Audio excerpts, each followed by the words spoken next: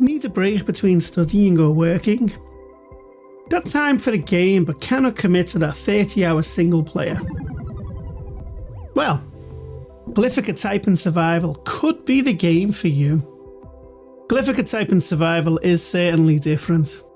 It is a game where words are your enemy and your fingers are your weapons. Well, your typing skills are your weapons. I mean, come on, it's in the title. I've enjoyed playing this game from the demo a few months ago to the full release this month.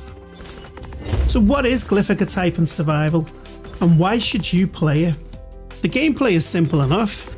You have a central area to defend, a circle in the middle of the screen. As time goes on, words appear on the screen from all sides with one aim, hit that circle and destroy. To defend yourself, you need to type out the word to effectively kill it. Simple, right? The beauty of this game is that even within this simple premise, the difficulty can ratchet up, catch you unawares. Start spelling a word incorrectly, you are stuck on that word till you spell it correctly. Concentrating on one side of the screen as there are lots of words coming. Did you miss that flying word coming in from the other side? Fortunately, you have a number of items to help you in this never ending battle. Each time you level up, you get three choices either new weapons or upgrades to existing weapons.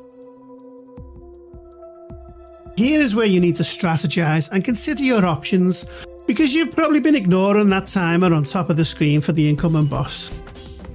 Yes, that's right, each level has a boss, and you have a certain amount of time to build your arsenal and defences to prepare. Whilst you're trying to type out that sentence, those pesky words keep coming.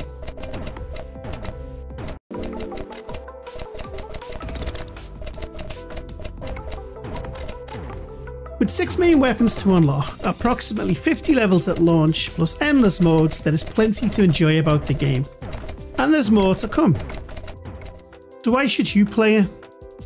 For me, I like to have a break when I'm working and play a quick game. You may be studying and need the same. Maybe you want to improve your typing skills. The game actually tells you your words per minute score at the end of your game. Is it complete? No, not yet. There are features I would like to see.